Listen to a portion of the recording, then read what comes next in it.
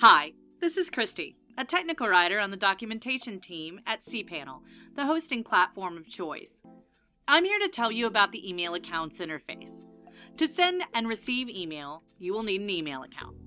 cPanel makes it easy to set up and manage your email accounts. If you'd like to see how to manage existing email accounts, we demonstrate that process in another video. I'll drop a link in the description below. Let's go ahead and log into cPanel. Here we are in the cPanel interface. The Tools page is the default home page. From here, we can navigate to any feature cPanel offers. Let's go to the email group and then click the email accounts icon. The email accounts interface will appear. Right now, the only account that appears in the table is the system user email account. Think of this as the catch-all email. It's the default email address for your account, unless you change the default setting using the default address interface. I'll drop a link to our documentation if you want to know how to change that. Your default account will receive all the emails routed to your domain that don't exist or have been mistakenly entered. Let's make a new email account. Click the Create button.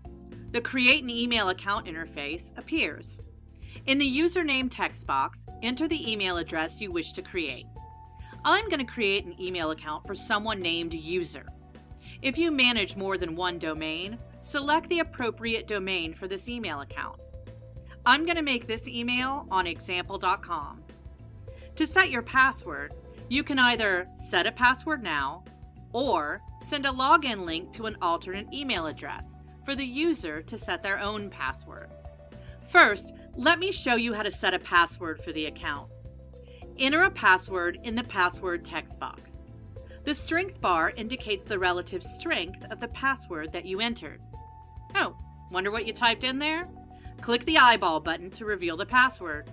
Whew, I'm gonna hide it again. You can also click Generate to have the system generate a strong password for you.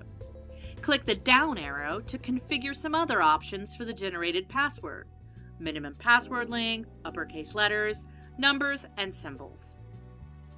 Now I'll show you how to send a link to another email account for the user to set their own password. Select the Send Login link to alternate email. Enter an email address in the alternate email text box. This will send a link to an email address. The user can then click that link and set their own password. Hmm, what are optional settings? Well, I'm glad you asked. You don't need to touch these for your email to work. However, if you want more storage or need plus addressing options, here is where you're going to find them. Let's click Edit Settings and see what's available. First up, storage space. Let's set storage space for the account. This is how much mail and attachments the mailbox can store.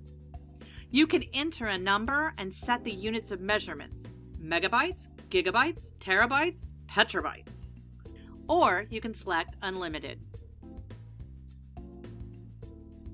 Do you want folders created for emails with plus addressing?